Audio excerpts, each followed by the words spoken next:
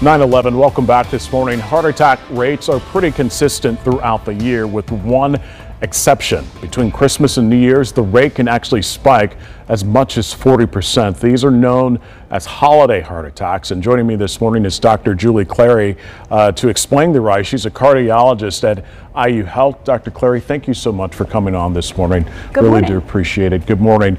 Uh, let's talk about the factors here because not too many people realize that there are factors that come to play when we're talking about heart attacks. Sure. So I think around the holidays, the biggest factor that comes into play is stress.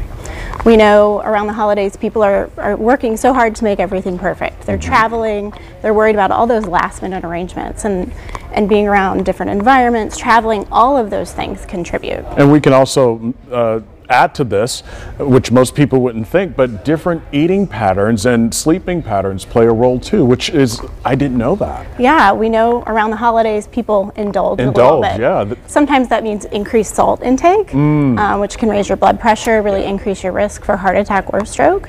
Um, and they're not sleeping well. And when you're not sleeping well, your body is not rested and it's feeling that stress. Yeah, that's interesting that you mentioned because during the holidays, a lot of people like to definitely indulge in the foods and things. But if you uh, have diabetes or things like that, that that plays a factor into your overall health. Definitely, yeah. It's important to to enjoy the holidays, but maybe do so in moderation. And then we have to mention alcohol because that's another factor. Sure, alcohol puts increased stress on the body and, and certainly can predispose to these events. Let's talk about physical activity because most people tend to think that we see a gentleman out here shoveling snow. Fortunately, we don't have to deal with that now, but that's a risk. It is. When you're outside in the cold exerting yourself, um, it's cold and your blood vessels constrict. It Oh. raises your blood pressure and can put increased strain on the heart. And especially when you're working hard and are predisposed to these conditions, can lead to having heart attacks. And that you explain it really clearly and well there. It's that how what happens inside your body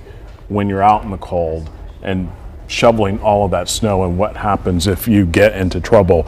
Let's talk about the symptoms for men and women. We'll start with the men first. Are they different? Yes and no. So, men and women both can experience the same symptoms from heart attacks. And I very rarely have a patient tell me that they have pain. They typically will describe pressure, tightness, um, a discomfort in their chest. That can be associated with discomfort that goes down the arm, up into the jaw, shortness of breath. Um, women will have more atypical symptoms. Okay. They can feel lightheaded or dizzy or just have a, a sense that something's wrong. Women will also just experience extreme fatigue at times. Okay, interesting. If someone out there watching finds themselves, you know, feeling uh, different, what should they do first? Well, don't put it off, right? It's the holidays. Everyone wants to spend time with their family. They say, I'll just wait. Let's wait till after the holidays and I'll take care of this. But don't do that. If you are having symptoms, you should seek care. That is so important, important advice. Dr. Julie Clary, an IU cardiologist, health cardiologist, thank you so much for coming on this morning. Happy holidays to you and your team. We To really well. appreciate it.